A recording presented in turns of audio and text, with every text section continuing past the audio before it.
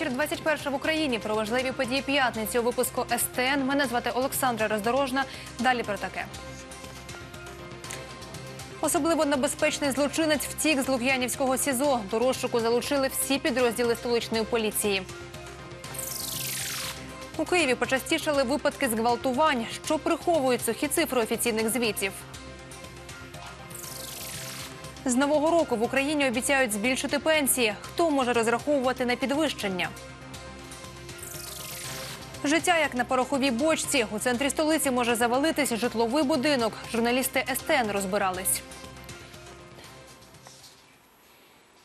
У столиці з Лук'янівського СІЗО втік особливо небезпечний злочинець. До його розшуку залучили всі оперативні служби та підрозділи столичної поліції. Орієнтування також передали до інших регіонів держави. Близько опівдня працівники ізолятора виявили відсутність одного із засуджених – 19-річного Віталія Пушкіна. На місці події працювала слідчо-оперативна група. Ми в свою чергу просимо киян бути пильними і обережними. Злочинець, засуджений за статтею навмисне вбивство, може ходити столичними вулицями. В Армянську кислотні дощі. Людей на кордоні не випускають та не впускають, через що утворилися трикілометрові черги на виїзд із Криму. Ми отримали ексклюзивне відео. Українка Оріяна стала свідком всього, що відбувалось цієї ночі на кордоні із півостровом, коли сама звідти поверталася. Раніше в листуванні вона повідомила, цитую, діти, люди похилого віку, жінки плакали. Перед кордоном хтось ночував в авто, хтось розкладав намети. Знаючи про катастрофу, нам ні слова не сказали, що цей дощ небезпечний і що краще від нього сховатись. Самі стояли в противогазах. Діти дихали цим, поки нас не вивезли на інший бік кордону. Я была в маске, теперь я ее сняла, но прежде чем я надела эту маску, я прошла где-то километр под этим кислотным дождем. Скажу вам, что лужи там реально желтые. А, кислота на вкус кислая. Ой, дождь идет опять. Нагадаю, напередодні екологічну катастрофу в Армянську, яку вже охрестили Кримським Чорнобилем, обговорювали на засіданні РНБО.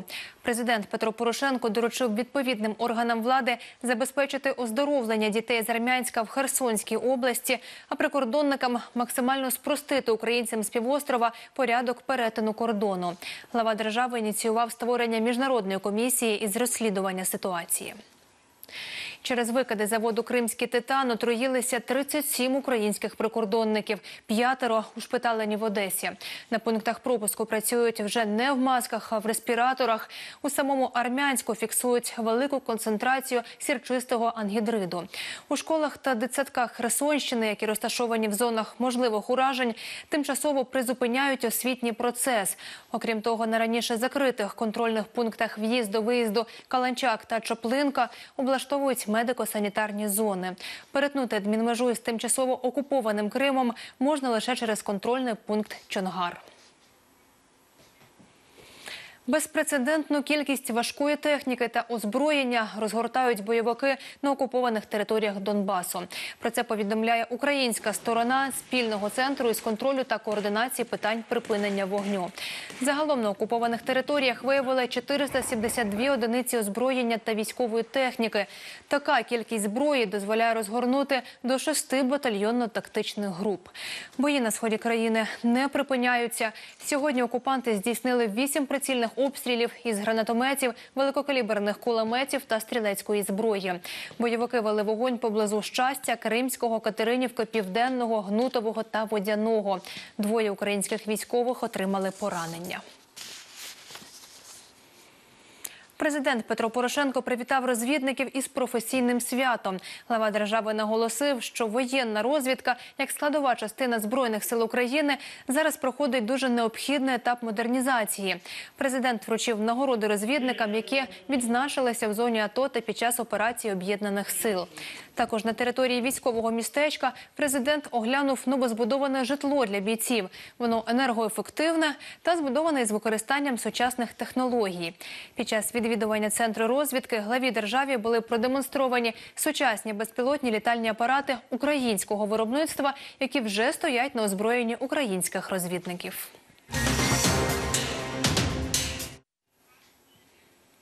На кільцеві автомобіль Hyundai виїхав на зупинку громадського транспорту і врізався в кіоск. ДТП сталося на зупинці Електронмаш. За попередньою інформацією, вантажівка притиснула Hyundai до узбіччя, через що легковик і влетів у зупинку. Дивом обійшлося без постраждалих. У Києві почастішали випадки зґвалтувань. Останні кілька зафіксували минулого тижня. Наші журналісти стали вивчати, що приховують сухі цифри офіційних звітів. Деталі у сюжеті Вікторії Кісільової.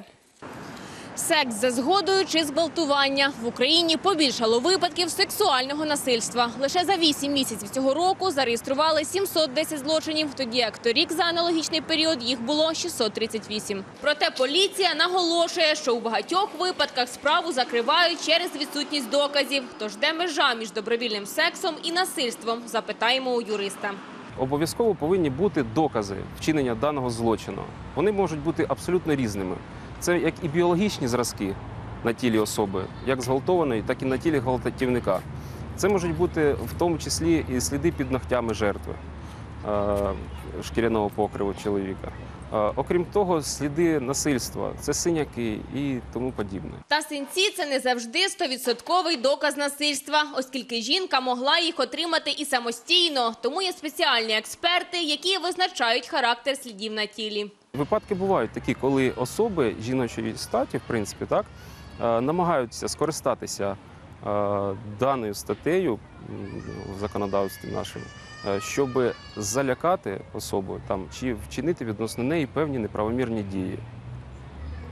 І здобути таким чином собі якісь е, регалії. Та якщо сексуальний контакт відбувся за попередньою домовленістю, приміром заради нової посади, одруження чи якоїсь винагороди, то у випадку невиконання обіцянки опісля це не буде злочином, оскільки насильницькі дії застосовані не були. Тому каже психолог, відповідь на пропозиції повинна бути чіткою: так або ні. дівчат не вчать відмовляти. Якщо говорити про дівчаток постарше, то мені здається, тут е, випадок трошки інакший, коли дівчина погоджується так на секс під час вечірки, то після цього вона усвідомлює, що не таким чином вона уявляла собі своє життя і намагається виправити це е, суто у соціальній нормі. Дівчата пишуть ці заяви або для того, щоб компенсувати собі цю подію, або для того, щоб відновити справедливість. Є ще таке поняття, як віктивна поведінка. Це коли особа, в даному випадку жінка, своїми діями провокує непевну реакцію з боку чоловіка. А нині непоодинокими випадками стали і заяви про зґвалтування після спільного проведеного часу на вечірці. Наш герой свого обличчя показувати не хоче, бо став жертвою подібної махінації. В силу всего выпитого нами мы решили как бы не ограничивать себя на только подобном времяпровождении. Но и что-то там у нас э, произошло. У нас э, был секс по согласию, но Кристина решила перевести это дело в другое русло. Она придумала историю, что я ее пытался изнасиловать, руко- рукоприкладствовал. Но по итогу этого ничего не было, этого ну, не нашли. И как я заявлял, что это было все по согласию, не было никаких следов насильственного э, це. Тішить те, що у опитаних нами молодих людей є певний кодекс поведінки, якого вони і дотримуються. Ну, Якщо дівчина свідомо випила першу чарку наодинці, будучи наодинці з цим хлопцем, мені здається, вона вже приблизно собі в думках щось має. І що, чим, чим, чим це може закінчитися. Тому не пити алкоголь. Бути повноцінним чоловіком ти можеш тільки, якщо вмієш ставитись до дівчини як до е, чогось вищого, ніж предмет там твого задоволення. Вікторія Кісільова, Олег Мартинюк, Олексій Баклайкіл, Олександр Степанов, телеканал Київ. У столиці є аварійний будинок, який таким не визнають. П'ятиповерхівка на Печерську уся вкрита тріщинами, а її подвір'я у проваллях. Величезні ями глибшують із кожним днем. Мешканці побоюються за безпеку родин. Комунальники неодноразово інспектували проблемну будівлю, але так нічого і не вирішили. Чому розбиралася Софія Сидорчак? Середмістя столиці Печерськ. Подвір'я однієї з п'ятиповерхівок, яких, до речі, залишилося ще достатньо в цьому районі, привертає до себе увагу напівзірваними огороджувальними стрічками. Таке враження, ніби під землею проводять ремонтні роботи, але провалля утворилися самостійно ще кілька місяців тому. Подъехала машина, стала проваливаться. Вот. Колесо, тут люди выбежали, эти машины убрали. Потом, через какое-то время, тут э, случилась аварія, труба прорвала гарячої воды. Ну, вы знаете, как у нас все делается. Пока они приехали, пока ну, это все видно текло, и дальше все это размывало. Порив тепломережі стався наприкінці червня. Вода вирувала з-під землі понад 4 години, перш ніж з'явилися комунальники. Тоді за добу відремонтували і залатали місце пориву. І все було добре, доки столицю не залило аномальними дощами. Після них ями почали утворюватися з геометричною прогресією. Цю ромашку мешканці будинку намалювали два тижні тому, аби подивитися, з якою швидкістю асфальт повзе під землю. А разом із ним і їхня домівка. Щоб переконатися в цьому, навіть досліджень проводити не треба. Достатньо завітати до квартир. проводка вся в стене лопается. Но сейчас начал лопаться уже кафель и начали лопаться трубы. И стали они течь. Повесили мы три года назад бойлер, он съехал и затопил нижнюю квартиру. И только из-за того, что стала ехать стенка. А она основная стенка. Юлія з родиною мешкає на четвертому поверсі. Свої слова підтверджує демонстрацією тріщин по всій квартирі і слідами горілої проводки. Нажахавшись, повертаємося у двір, де мешканці показують уже ззовні пошкоджений фасад. Руйнації будинку, розповідають люди, намагалися запобігти. В 2004 проводились объемные работы по строительству э, к- это вот шахты, которая держала наш дом. Наш дом начал садиться. В 1966 году нам поставили сваи. Знайти їх нині просто. Віднедавна палі почали вилазити з-під землі. Умовна інспекція будинку знову привела нас до провалів. Цікаво, що вони утворилися чітко в одну лінію. За словами мешканців, саме тут простягається побудована 14 років тому штольня. Там розташовані і тепломережі, порив яких стався нещодавно. Але у Київ теплоенерго свою причетність до провалів заперечують. Перпендикулярно нашей тепловой сети э, над ней проходит э, ливнеприемная канализация. Вот. Эта ливнеприемная канализация, э, скорее всего, была забита и нарушена, да, вследствие чего э, дождевая вода попадала на наши лотки, да, в которых проходит тепловая сеть. Соответственно, она размывала эти же лотки и э, к чему и пришло, привело, что у нас было повреждение. Балансоутримувач будинку пояснює, що забита дощова каналізація, про яку розповідають у Київ теплоенерго, це продовження штольні, яка має виконувати дренажну функцію для будівлі. Але наразі не робить цього через увага сусідство з тепломережами. Унаслідок поривів е, численних е, мереж із централізованого опалення гарячого водопостачання е, РТМ Печерськ, КП Київ Теплоенерго е, цю штольню було замулено. Керуюча компанія, за словами її представника, про ситуацію із провалами і станом будинку знає та намагається вирішити. А для того, щоб зробити це грамотно, просить людей трішки почекати і звертається по допомогу до науковців. Ми звернулися до РТМ Печерськ не відновлювати благоустрій після їх розриттів, е, які відбулися внаслідок пориву тепломережі, щоб воно поки що залишилося. Це так. Науково-дослідний інститут, е, відповідно до того договору, який ми уклали, е, вартість його близько 90 тисяч гривень. Е, Вони виходили вже на місце у, кінці серпня. Зараз вони працюють над звітом. Після чого мають надати конкретні рекомендації щодо дій, яких намагаються вжити комунальники, аби розв'язати проблему будинку. Фахівці готуватимуть звіт ще кілька днів, переконують у керуючій компанії. Мешканці цим поясненням віри не ймуть. Приезжали с какого-то института, фотографировали, все это снимали. Мы у них спра- спрашиваем, какое вы заключение дадите? А они сказали, а может мы и вообще никакого заключения не будем давать, потому что нас якобы э, нанял ЖЭК, но деньги они нам не заплатили за это обследование. Скільки ж триватимуть усі дослідження Тверського тупику 6 дріб 8 і коли балансоутримувач усуне проблему провалів у подвір'ї та руйнації будинку? Конкретних термінів не назвав ніхто. Єдине, у чому переконали комунальні установи, проблему рано чи пізно розв'яжуть. Чекайте. Софія Сидорчак, Андрій Гегеля, Олександр Козуб, телеканал Київ. Зі збільшенням мінімальних зарплат в Україні зростатимуть пенсії. У міністерстві соцполітики їх обіцяють підвищити з 1 січня. Із 2019 року почнуть діяти нові правила перерахунку пенсії. Та чи можуть на щось розраховувати люди, які багато років працюють без офіційного працевлаштування? Відповідь шукали наші журналісти. 59-річний Сергій понад 20 років працює приватним підприємцем на книжковому базарі. Новою пенсійною реформою обурений, адже через неї стаж майже анулювався, а все тому, що не страховий. Чоловік ображений на державу, навіть написав відмову від пенсійного забезпечення. Работая 20 лет частным предпринимателем, я не могу никогда сделать 35 лет стажа. И когда с 2000 года этот убрали. Вот я решил подарить государству нашему крайскому, так оно бедное, и деньги нужны на то, я свою пенсию написал о том, что я дарю нашему государству. А от 32-річний Дмитро офіційно не працює, тобто й податок до бюджету не сплачує, адже вірить, що все рівно нічого гарного з цього не вийде. По тому состоянию, в котором находится сейчас наша страна, как бы доверия к банкам особо нету. Банк за банком лопаются. Банки это только разве что частные. То есть те, которые не находятся на территории Украины. Там можно что-то отлаживать. Пані Світлана на пенсії вже давно, однак змушена працювати продавчиною на базарі через те, що отримана 15 років тому пенсія ледь покриває рахунки за комунальні послуги. на эту пенсию даже, даже 3 тысячи прожить нельзя. Потому что лекарства, потому что квартплата, коммуналка.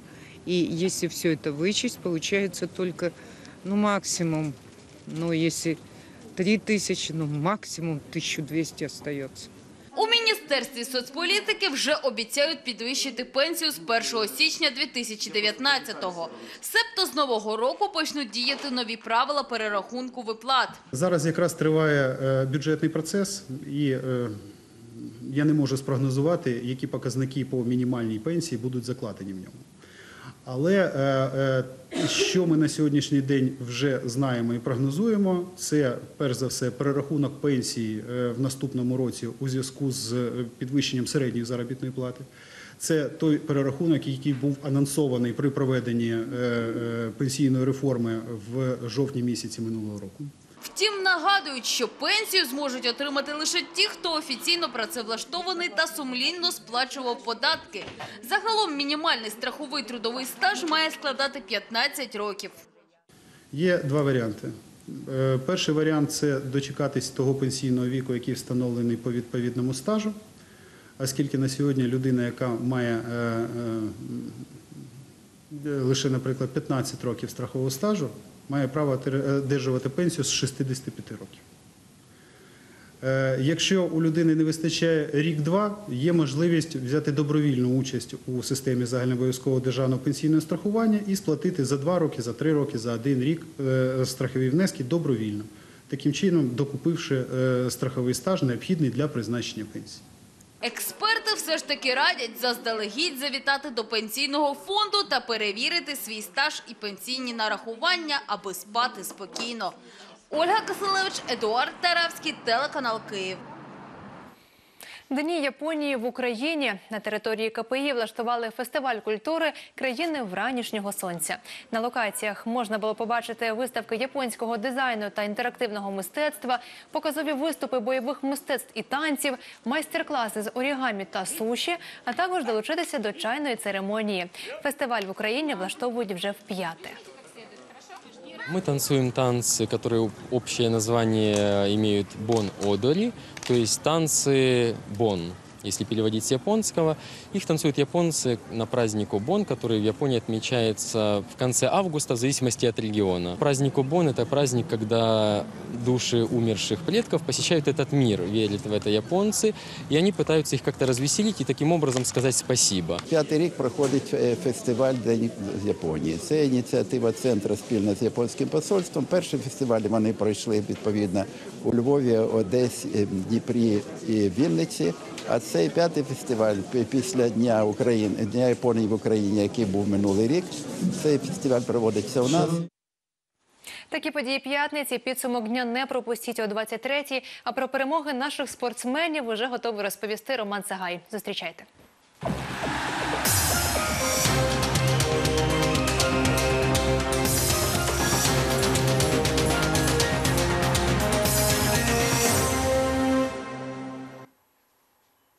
Моє вітання на телеканалі Київ. Найоперативніші новини зі світу спорту. Молодіжна збірна України з футболу сьогодні у Запоріжжі зіграла поєдинок відбору до чемпіонату Європи 2019. У групі 4 підопічні Олександра Головка здолали збірну Латвії. У першому таймі Попов і Швед по черзі засмутили гостей.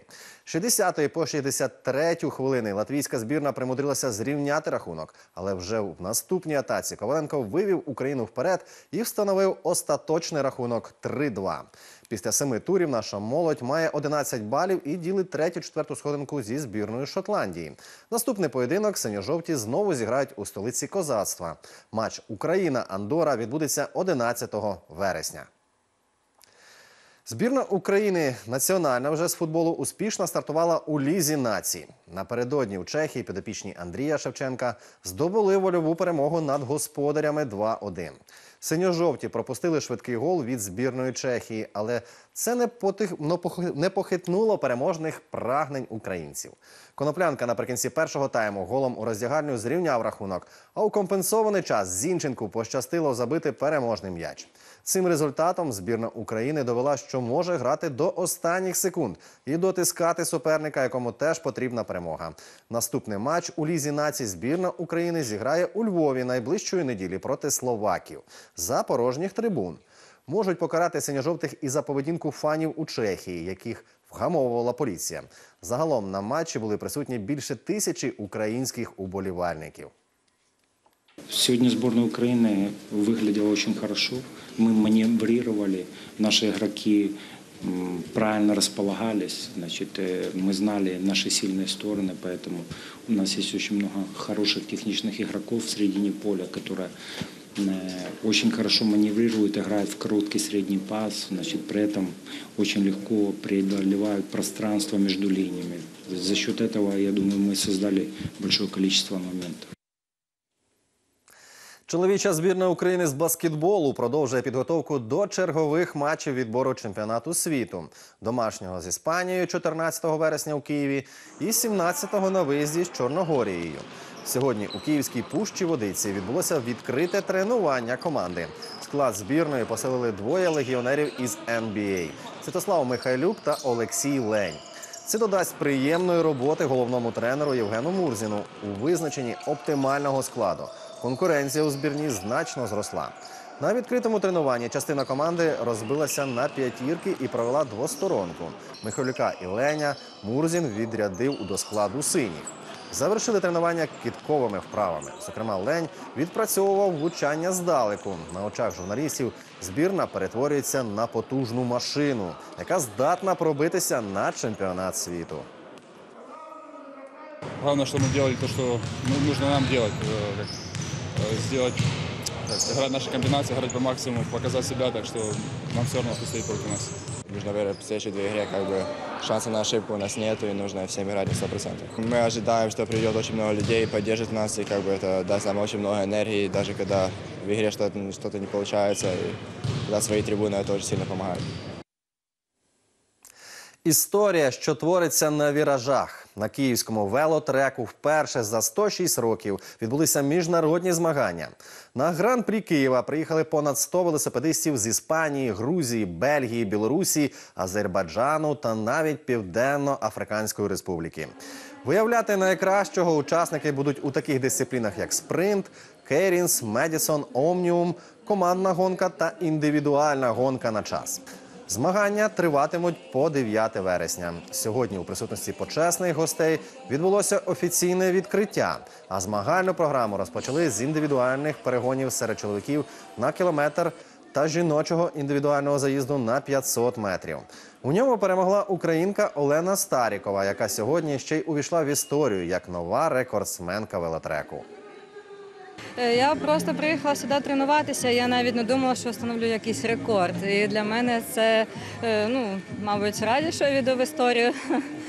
Я просто трошки засмучена, що погода зіпсувалася, але то є дуже добрий результат на тому треку. Ну, ми бачимо, у же тут відкрита наша школа, дитяча школа. Ми бачимо, як е, кожен місяць ще більше і більше дітей приходять до школи і починають займатися. Для нас це, для, для нас це дуже важливо, щоб всі наші діти і в округу, і всі наші діти міста Києва займалися спортом. І на цьому все. Вболівайте за українців і будьте здорові!